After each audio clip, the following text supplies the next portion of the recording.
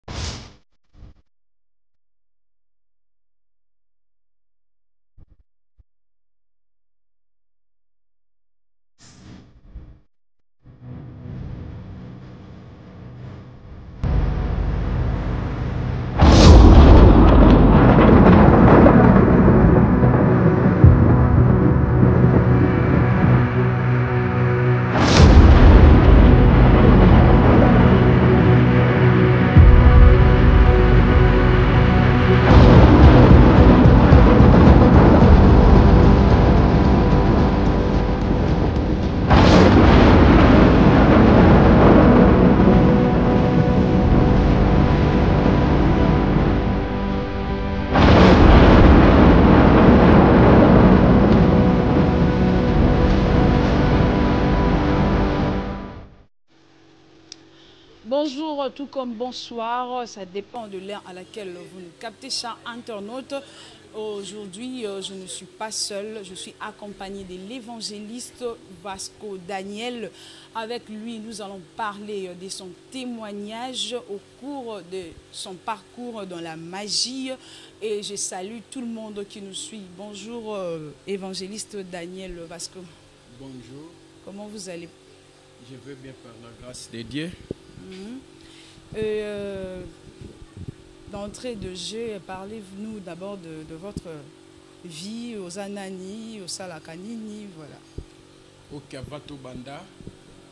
Totiki nyonso nao na maboko na Nzambe mpo ete ye nde mokolo pema mm. soki ya kobatela te oyo akokengela kosala mosala ya punda mm. ebele ya bato bakanaki kokoma na ntongo ya lelo basili kokoma te mokolo pema asili kozwa pema na bango oui. donc nga na yo toleki bango na eloko te donc esengeli tobanda na kopesa nanu nzambe mexi nzambe alola nzambe na bolingo nzambe oyo aleki likolo na nyonso papa malamu totomboli nkombo na yo tokumisi bokonzi na yo likolo na bakonzi nyonso papa ezalaki mabongisi na ngai te kasi ezalaki mabongisi na yo nde obongisaki na mokolo ya lelo toleka na kosala emission elongo na bandeko Papa tika ete oyo nyonso akolanda temoignage oyo esika azali ata bamelaki vie na ye bakotisaki yango na prison mpo amona mpasi bayoka moto basanza yango na nkombo na yesu kristu mokonzi mpe mobikisi na biso amen amen Euh, merci beaucoup papa euh, tolingi justement mwa présentation ya mokie bandeko bazolanda biso bayeba oza nani merci nkombo euh, na nga évangéliste daniel mm -hmm. vasco mm. nazalaki nazali évangéliste bon bato bakobenga nga mpe frère mm. puiske oyo aleki monene eza kaka yesu kristo ntina moko te topesaka bakombo badoktere baarchibishop banani mm. me kati na biso mm.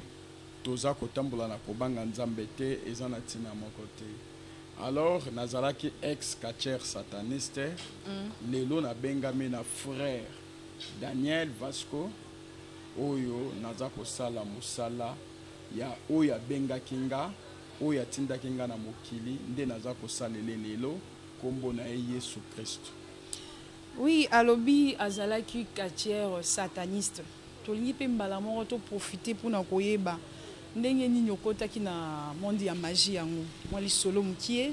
Ok ngai evangeliste Daniel na botami na famille chretien mm. papa na nga azalaki mosali ya Nzambe mama na nga mosali ya Nzambe bandeko na nga nyonso bayembi nga moko pe nazalaki moyembi na kati ya eglise ya fepaco nzambe malamu mm.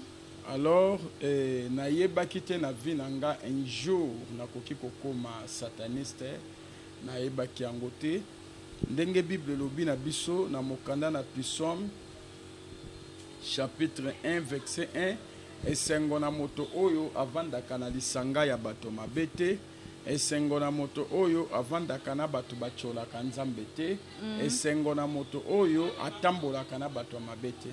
Donc na quartier tovandaki ezalaki quartier sans fil e quartier wana ata ntango wana bandako ezalaki moko moko mingi bachantier ezalaki na mabulu ya zelo mm. oyo bandaki kotyumbola zelo alors eh, eloko nini ekomaki na mabulu ya zelo abandaki kobeta bashite banda bato bazobeta bashite na bashite wana bato baza kobeta ngai ebandaki kointeresse biso te mpo tozalaki nao na bakamarade te bakamarade na biso mingi ezalaki bafrère na biso ya eglise bakamarade na biso mingi toanda okendeka mpa bafrère tosambelaka na bango mm. bon excès ya koyoka Ndenge bato bazoganga mokolo moko concours ezalaki ba chuteurs bawuti ba Matete, ba Ndjili baye concours na ba chuteurs ya Masina alors ezalaki pena bato baoganga po baobeta ba deux chutes à l'heure ba trois chutes à l'heure alors nayaki kotala ntango naye kotala nakuti pe bato ebele ndenge bandaki kobeta chute wana esepelisaki nga alors ndenge esepelisaki nga ti natelemaki wana Nasisi nazongi na nga ndako, ekomelaki nga habitude ya kokende kotala shit. Alors mokolo mona ake kotala shit, moninga moko ya quartier aye pembe na nga alobi Vasco, yo jeune boyaka kaka kotala shit obetaka te mpo na nini? Esengeli yo mpe oyaka obandaka kobeta shit. Alors nasepelaki na idee wana, nakende naluki pyjama, serwa ba pyjama lobi nango nayaki babandi kolakisa nga kobeta shit. Donc okoya koyoka na suite ya temoignage oyo moninga wana azalaki ndoki donc azalaki antenne ya bandoki ah, bon. oyo batindaki na nzela na nga se parce que nga moko nafungolaki porte nakendeki kolanda nzela ya bato ya mabe mm. alors eh, nakomaki kobeta shit ekomaki kosala nazokabola shit te nakokende classe meme kokende nini repetition nakoma okima naoke beta shit alors nakomaki ke bamoni na ke classe natie pyjama na kati aire na okende na tourne na nga ntango na kotourne na ye mbala moko eh, place ya ko ya shit ton papa ayokaki eh, papa ayokaki maloba bapesi ye rapport papa apesaki nga punition natikaki nzela shit nazongelaki na nga makambo eglise ata mm. nazongelaki ma ezalaki mokolo moko na namonaki bato bazoganga lisusu nalobi te ifo nakende otala mai tozalaki na nzela toke répétition bagrande sœur eh, grande frère oyo nalandaki bazokende nga mpe naokende na bango na devie bango nga naketala na nga shit noto na devie bango naketala shit Moninga mibale aye epa na nga mm.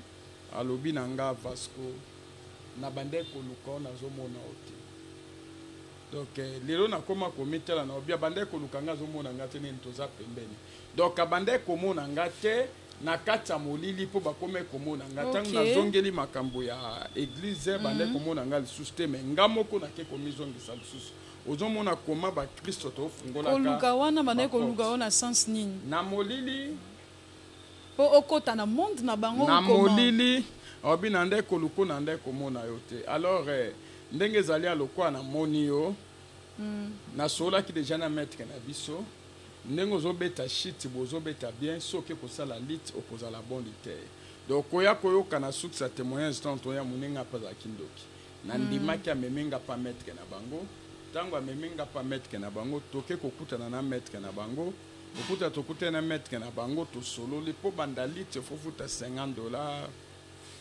bamosusu mpe ba 100 dollar bafutaka me ngai natikalaki kofuta ata infra te seke lutte ezalaki esika mosusu euh, shit mpe ezalaki kobetama esika mosusu oui moninga na ndo abeta shit mazalaki mpe litere donc oh. Eh, ayebisi nga alobi ndenge na obeta shiti bien soki nake kosala liti na ozala bon liter mpo na liti okay. mingi ezali bashite baserre de pont baprobasi mm. babiloko wana barastafi eza soki oza bon shiter ozala na facilité na kosala liti alors nasepelaki na yango nde nakendaki kosala liti ntango nake kosala liti papa gangeli nga nabandaki kotosa esu papa te mm. okoya koyoka na basini tokopesa mwana oyo aza mvute to se alie ndoki eloko ya liboso oyebi eza te tidi donc nalongwaki na ndako ya baparent tokomaki kovanda na ndako ya bekiri ya bamasta balitere alors eloko nini ekomaki euh, maitre wana aye kobenga nga alobi vasco nalingi nabimisa bakacher bakacher nalingi nabimisa Yo na moni oza na etoile mingi esengeli na kotso pe obima na ba liste ya ba catcheur oyo nako bimisa. Seke wana nanu oyebi kindoki te oyebi magie te oyebi eloko te. Eloko moko te moyebi ke ba lutteur bazalaka na mua ba ba kisi bazalaka po ba mettre na bango mua ba catcheur mua ba nzoloko mua ba singa ezalaki deja oyo ke oko beta mutu pe ata coup de tete akweyi ata kawa une minute to apumbue ake kueya kuna bon mm. babiloko wana ezalaki deja mpo tozalaki balitere nyonso oyo babandi lite bazokola baluka deja bametre na moko bapesa bango babiloko wana mm. alors eloko nini ekomi aobi nalingi nabimisa yo katiere mpo namoni oza na etoile mingi okoma katiere na bakatiere oyo nazobimisa mpo na kobima katiere efosala ba 20 ans 15 ans mwa moke 10 ans mais nga na umele pena te na salaki ba 5 ans na ndambo pona nini c'est parce que alobaki naza na étoile ah okay ozolanda témoignage mm. bien te alobaki naza na étoile yango alingi kobimisa nga na bato oyo baza basien na liti mm. abimisa nga na kati ya groupe wana nga mpe nandimaki akomelaki biso biloko tokende kosomba toke tosombi babiloko wana ntango tosombi toye nango nde akoti biso na kati ya temple na ye a partir ya 0h30 tokoya koyoka na témoignage ba 0h30 wana eza ba heure ba monde nyonso ya ténèbre efonctionnaka ebanda kofonctionne a partir ya 0h30 nde ba réunion esalama na kati ya ténèbre alors ntango ayebisi nga bongo eloko nini eye kokoma abandi ba ceremonie po tosomba ye biloko ebele tosombaki ba bougie ba parfum ba poudre ba dra ba soso abandi ba ceremonie ntango abandi ba ceremonie abengi monenga liboso donc na temple akoti ye biso ozomona temple ba dra rouge ya noire ba cercueil ba bikeko bikeko ezoloba ezotambola Donc mbala liboso na vie na ngai namona ekeko ezoloba ezotambola alors ntango akotisi biso wana na kati ya temple abandi baexplication abengi, abengi moninga liboso aleki ntango abengi ye awa ozo comprendre eloko moko ke monde ya ténèbre ezwa kaka eloko moto alingaka mm. alors olie basenga master wana mm. apesa papa na bango donc bango moko na kati ya monde ya ténèbre baponeli ye mm. basengi ye te me baponeli ye babengi nkombo ya papa na bango epa grand maître wana papa na bango abimi na kitalatala ntango abimi na kitalatala azwi mbala moko monduki monduki yango ezalaki na forme ya mokwa moko ya motu mokwa ya motu neti kota motu elingama boye mm. azwi yango apesi alobi beta papa na bino masasi na motu wana ezalaki na ba heure niso okoki koyeba bon deja eyaki 0 heure tozolanda deja ba une heure puisque cérémonie ebanda 0 heure 30 mm. cérémonie ebanda 0 heure 30 deja toleka ba tokende ba une heure alors apesi abeta papa na bino na motu abeti papa na bango na motu na kitalatala esika papa azalaki agangi ai motu papa akweya akufi biso tomona wana kitalatala ti bazoya kolela papa bazwa ye batombo ye bameme na hôpital grand maître wana asali cérémonie papa abimi na kati ya temple donc oyo wana bazomema eza ye te eza poso ya pamba to papa wana abimi na kati ya temple directement asali papa wana cérémonie papa wana abaluki soso ntango abaluki soso azwi kingo na ye akati yango na mbeli azwi makila atia yango na kopo na verre apesi moninga wana ameli moninga ameli makila papa na bango kuna papa na bango akufi alors directement basali moninga na cérémonie abengi moninga mibale moninga mibale wana aleki apesi ye flèche ntango apesi ye flèche abengi nkombo ya yaya ya baninga wana ya mwasi hmm. yaya na bango ya mwasi abimi abeti ye flèche na tolo ntango abeti ye fleshe na tolo place azalaki agangea motema motema motema motema kweya kufi lo kuna babandi olela maître wana asali incartration abimisi yaya baninga na mwasi na kati ya asali mpe ka ndenge asalaki ya liboso asali incartation abalusi esoso apesi moninga bakati ekingo batie makila na verre bapie moninga na meli basali eseremoni alors tozalaki ebele mm. baninga boso ebele baleki baleki baleki mpo témoignage ya molai mm. e, ekomi na tour na ngai nalekani bato mosusu mpe batikalaki na nsima na ngai faki balekana ebo na tourne eloko nini esalamaki yango nazoya koloba mm. ntango ekomi na tour na ngai mbala moko eh, au lieu basenga nga c'est comme habitude hein, ndenge ezoleka na baninga na nga babenga mm. kombo papa na biso alors babenga celestin au lieu papa bima na kitalatala papa bima te makila nde bimi papa amonani te makila nde bimi donc ozo comprendre ke mwana na nzambe nyonso oyo atambolaka na kobanga nzambe azalaka na mm. vie ya repentance atambolaka na kosalela nzambe nzambe atikaka ye te akwea na motambo ya bandoki to ya monde atelema Papa azalaki na vie ya kobanga Nzambe, azalaki na vie ya kosalela Nzambe mpe ya kosambela. Kosambela. Alors mpo abima na kitalatala abima te, makila nde ebimi na kitalatala. Alors ntango makila ebimi, presence ya libota na nga echandise monde ya ténèbre programme. Ozomona? Mm. Yoka nayebisa yo.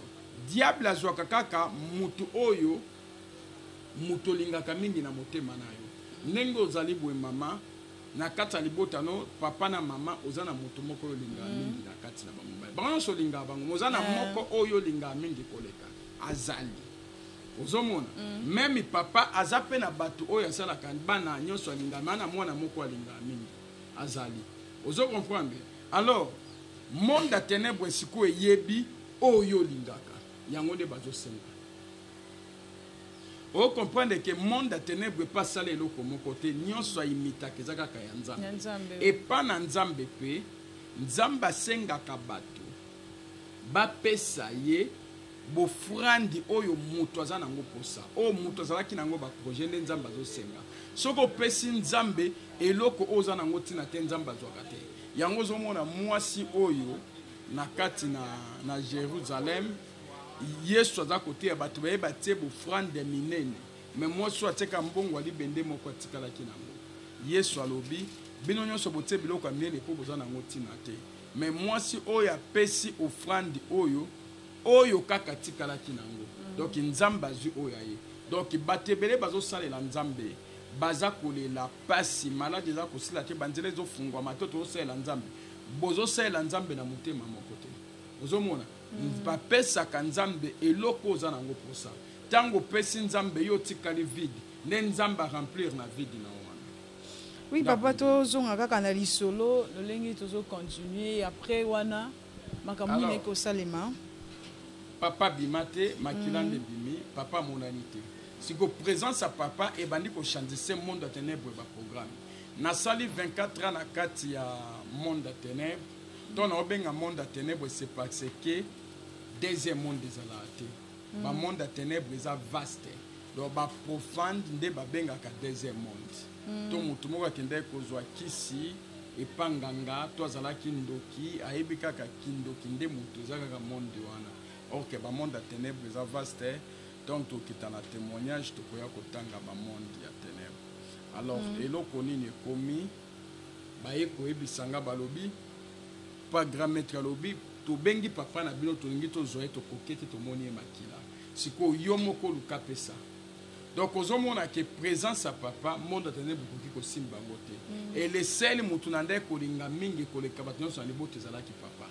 sikoyo olie diable azwa ye akoki ye te mpo papa azalaki na vie ya prière eloko nini ekomi baye koyebisa nga chanze moto mosusu pesa donc omoni ke présence ya libota na nga lokola baa na vie de prière ebouge déjà monde ya ténèbre tika ete présence na yo oyo ozwami na kolanda émission oyo soki otamboli kaka na kobanga nzambe otamboli na kosalela nzambe mpe mm. na kosalela nzambe présence na yo ebanda kotia monde ya ténèbre mal à l'aise ebanda kochandise baprojet ya bandoki ya libota no mpe ya quartier na yo na kombo na yesu kristo alors bobi change motu na benga kombo ya mama ozo comprendre ke baninga nyonso bazweli bango nde kozwa bango baponi mm. mais comme na tour na ngai bameki kozwa bakoki te bakoki te bayebisi yo moko yo mopesa alors lokola mama abandaki kokamola biso libumu mpe mingi abandaki kofunda ngai mingi mpa papa na biye nde fo akende mpo ye nde mpena motu atiaka ngai bakali mingi Alors na benga kombo ya mama olie mama bima makila ebima mama monana te toujours makila bayebisi nga change mutu mosusu na change mutu mosusu na bandi na yaya liboso olia bima bima te makila ntina mwana suka na benga bakombo na bango bamonana te makila elembisa grand maître wana alors ntango elembisi ye baceremonie ya bato mosusu ezozwa ba 3 minutes 2 minutes esili mais cérémonie na nga ezwa presque une heure na ndambo ezosila te alors monde ya ténèbre esilisaka réunion 3h30 cérémonie na nga ekota déjà toolanda ba 4h alors maître wana abimisi nga libanda abimisi na baninga mosusu libanda abimisaki libanda pourquoi c'est parce que ezalaki na motu moko akabaki nga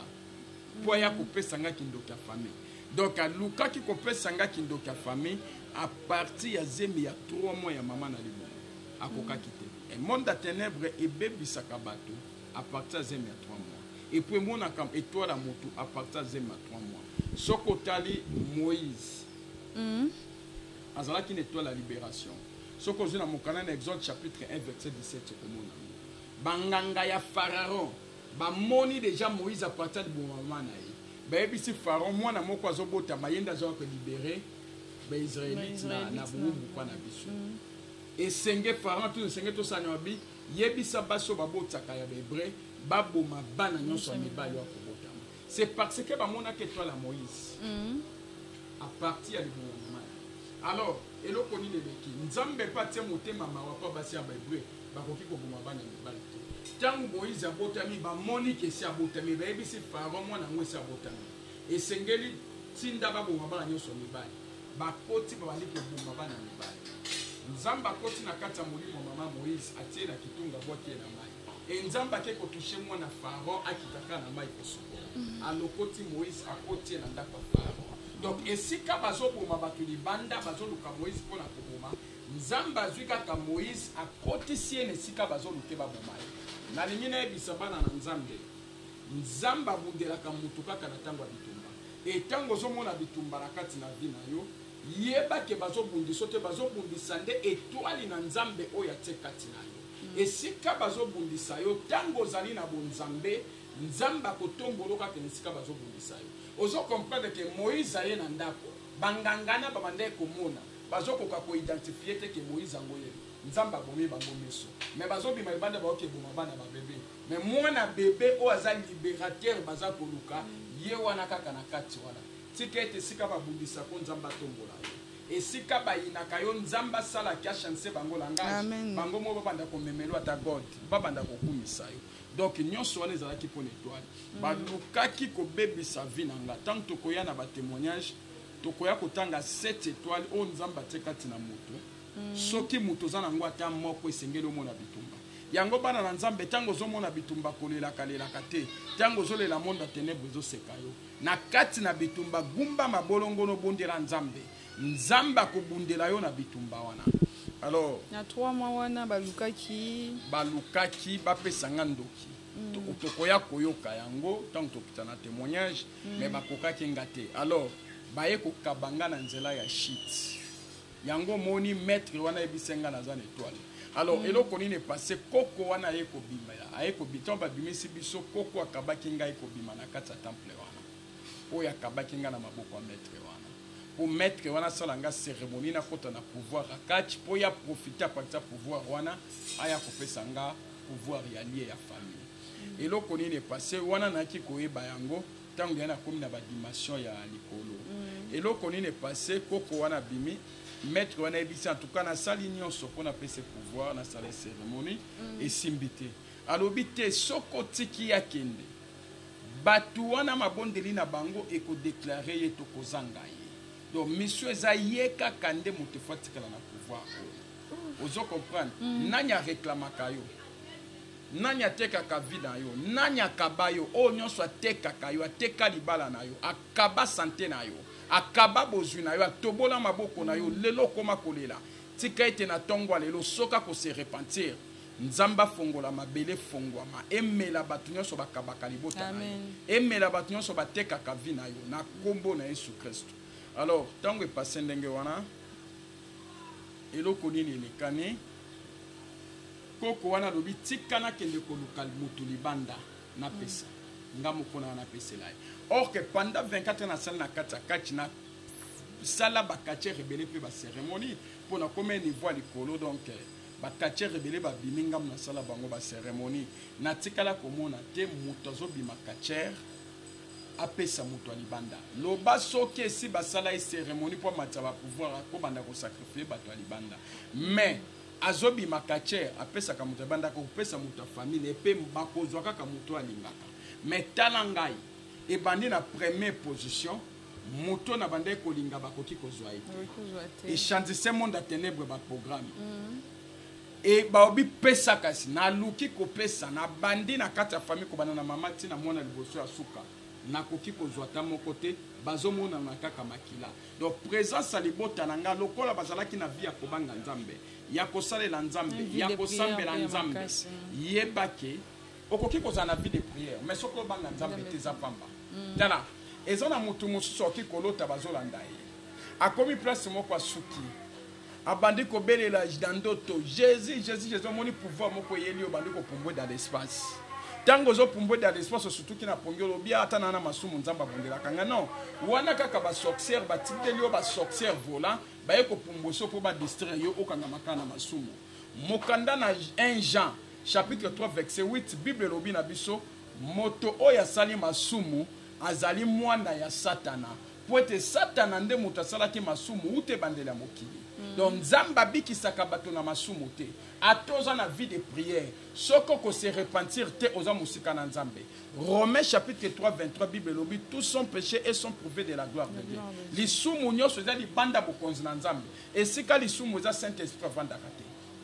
est ce que comprendre donc eh, nzambe ayoka liwa bato na masumu te yango omoni nzambe aoloba na biso na romain chapitre 3 16 alobi na biso nzambe asepelaka na liwa ya bato na masumu te donc eh, lifuti ya moto na masumu eza kufa est-ce que comprendre na comprendre merci sikoyo moto esengeli koyeba mwana na nzambe ato tozosalela nzambe ozosambela nzambe eloko ya liboso zala na vie ya repentance soki okweisami na une seconde na 12 heures juste 12 heures une seconde se repentir kolinga tovandisa lisumu kati na motema na yo mpo ete lisumu nde moto ekaboli moto na nzambe ozomona mm. repatance nde ezongisi bolingo ya moto na nzambe yango omoni bakristo ebele baza kokende oluka na baeglize oyo baobimisa bato babiloko na banzoto mm. baza kotambola kuna bazobikisa boye bien aime komitungisa no te oyo na kuna bazopesa mabala komitungisa te diable apesaka bato me oyo alongolaka eleki motuya mm. repatance nde ezali mama ya delivrance soki olingi ozala delivre il faut banda na repatance mpo repatance ezongisi bolingo ya moto na nzambe soki oza na vie ya repatance te okoki kozala delivre te oyo ozomona babimisi eloko na nzoto eza magie na vanda na te mpe natali paster moko abimisa bato basete na nzoto na seki na wabi mpe na ose chapitre 4 verset 6 bana na ngai babebisami na kozanga koyeba me nzambe alobi lokola yo oyebi soko bokondima ngai mpe nzambe natiki yo donc boyebi oyo ozoyeba na nzela na témoignage oyo bien aimé yebaka ke eloko ezongisi bolingo na moto na nzambe eza kaka repentance Mpo ete na mokanda na Jean chapitre 1 verset 5 Bible elobi na biso Yesu azali moi akotaki kati na molili molili ekimaki. Mm. Donc soki ose repentir ozongi na se na makolo na Nzambe Yesu Kristo akokota na kati na bomoi no lokola lumière du monde.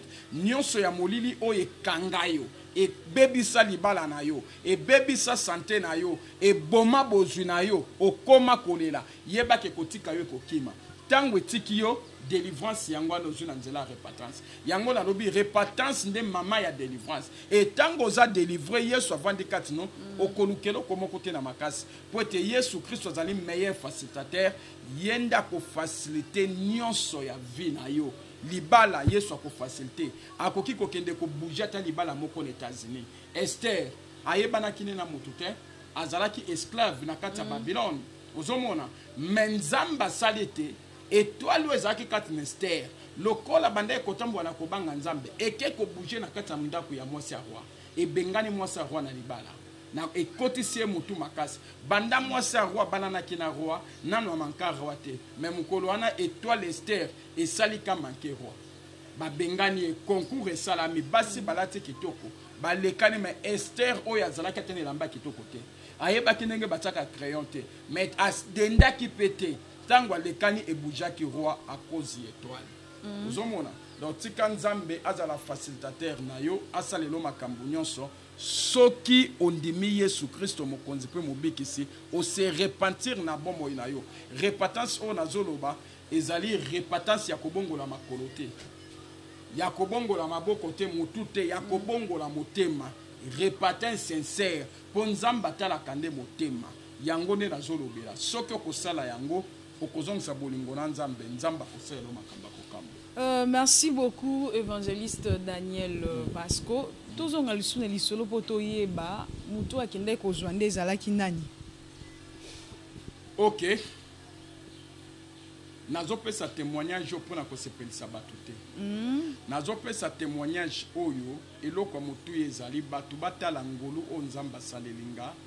alokoti ngai na libulu na tenebre atransporte ngai na ngai na lumière atindi ngai nafongola bana ne miso yo ozolanda témoignage oyo wi ozolanda yango surtout nazolobela jeunesse mpo ozala mayele mpo monde ya tenebre ebandaka kobebisa nanu bato a partir ya jeunesse mm. lelo okoma mokolo okoma kolela yeba ke diable akangaki yo a partir ya jeunesse nde omoni lelo okoma kolela donc na jeunesse mpe nzambe mpe asalelaka bato Donc eloko naza koloba ya motuya oyo bosimba na temoignage oyo eza kaka repentance.